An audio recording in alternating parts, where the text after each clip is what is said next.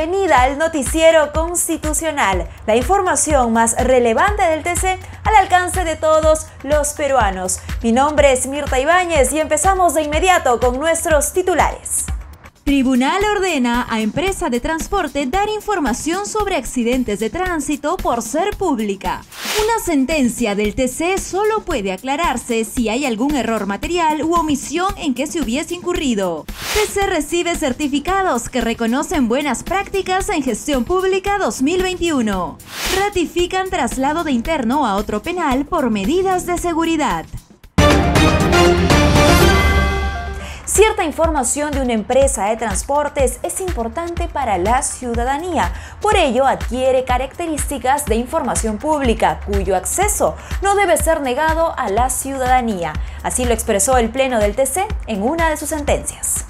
Tras vulnerarse el derecho de acceso a la información pública, el Tribunal Constitucional ordenó a la empresa de transporte César Vallejo SA que entregue información a un ciudadano sobre los accidentes de tránsito que han tenido las unidades durante la prestación del servicio de transporte público entre el 17 de octubre de 2012 y el 17 de octubre de 2015. Así lo detalla la sentencia 57-2021, que declara fundada la demanda de habeas data interpuesta por Vicente Raúl Lozano Castro, a quien la empresa le negó tal información, argumentando que al ser una entidad privada, no está obligada a entregarla. El tribunal consideró que la cantidad de accidentes de tránsito de una empresa de transporte terrestre está íntimamente relacionada con las características del servicio público prestado, siendo relevante para la ciudadanía y potenciales usuarios y por ello adquiere las características de información pública. Para el TC, la empresa vulneró el derecho de acceso a la información pública solicitada por Lozano Castro.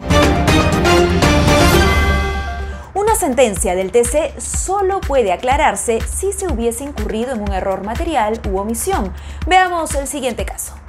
El Tribunal Constitucional declaró improcedente el pedido de aclaración formulado por Miguel Ángel Guamán Castillo, porque de acuerdo a lo previsto en el artículo 121 del Código Procesal Constitucional, solo puede aclarar algún concepto subsanar cualquier error material u omisión en que hubiese incurrido al expedir una sentencia. En el presente caso, el demandante solicitó que en la parte resolutiva de la sentencia, que declaró improcedente la demanda, se agregue un mandato que ordene remitir el expediente al juzgado de origen para que proceda conforme lo dispone el fundamento 37 de la sentencia emitida en el expediente 02006-2005-PA-DC. Esto es, para que se reconduzca el expediente al juez competente para tramitarlo en la vía contencioso-administrativa.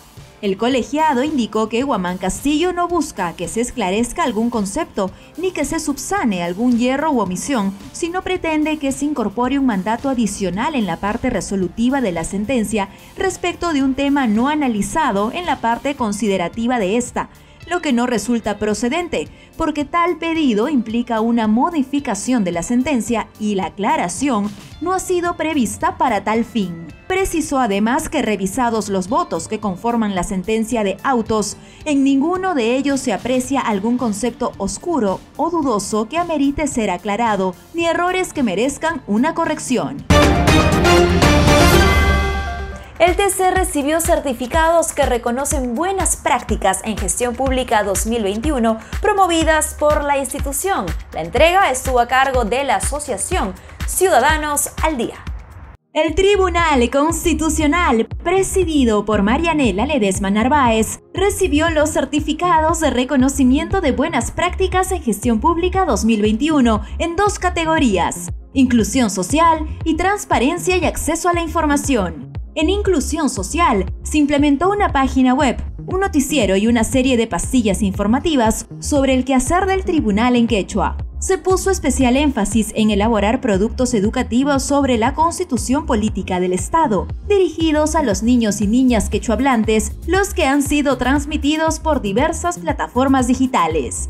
En transparencia y acceso a la información, se transmitió por primera vez en la historia del tribunal el proceso de deliberación al momento de emitir una sentencia, Se realizó audiencias públicas remotas para que los abogados de todo el país expongan los alegatos sobre las causas que el TC resolverá. Se creó Ricui, mascota animada, para informar al ciudadano del gasto público que realiza el tribunal. Asimismo, durante la pandemia se digitalizó el 100% de los expedientes físicos y se implementó una ventanilla virtual para facilitar a todo ciudadano el acceso a la lectura de los expedientes que están en el Tribunal Constitucional. En la décima séptima edición del concurso organizado por la Asociación Ciudadanos al Día, se buscó reconocer y difundir el esfuerzo y los logros de los servidores públicos y agentes del sector privado y la sociedad civil para brindar servicios de calidad a las personas y empresas.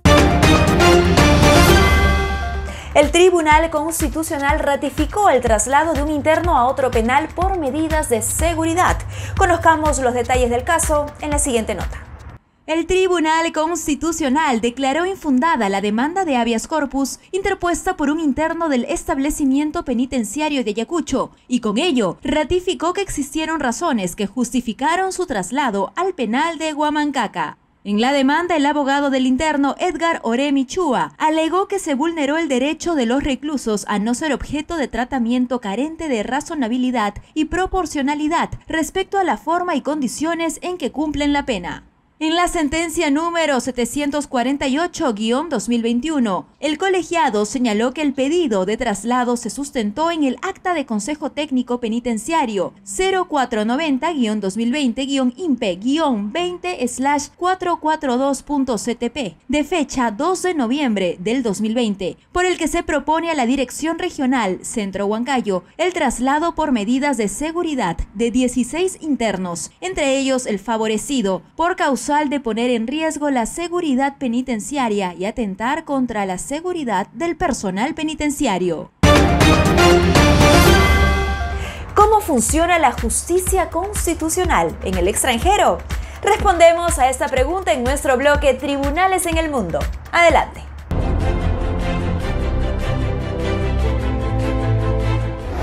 Rusia.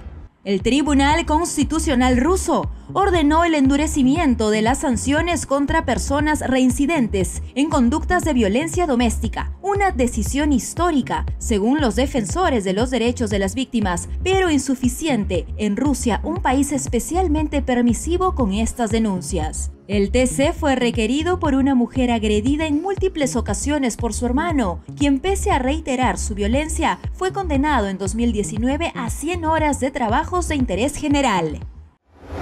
Alemania. En una decisión histórica, el Tribunal Constitucional aceptó la demanda de nueve jóvenes por un futuro más digno la insuficiente protección del clima actual viola directamente las libertades y los derechos fundamentales de la ciudadanía. Señalan que los objetivos y medidas de la Ley Federal de Protección del Clima no son suficientes para proteger efectivamente sus derechos fundamentales de las consecuencias de la crisis climática ni para cumplir con las obligaciones internacionales asumidas por el gobierno alemán como el Acuerdo de París.